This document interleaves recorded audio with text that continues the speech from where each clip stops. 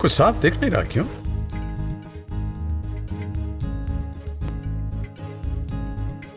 हाँ अब ठीक है। देखिए, सही तस्वीर जानने के लिए ट्रांसपेरेंसी बहुत ज़रूरी है। तो भैया, अभी तक इतने सारे इनडायरेक्ट टैक्सेस लगते आए और आपको बिल में दिखता है सिर्फ़ वैट, पर अब लगेगा सिर्फ़ एक टैक्स जीएसटी ये उन सब टैक्सेस की जगह है जो आप पे तो करते हैं, पर देख नहीं पाते। इसलिए GST single tax simple tax transparent tax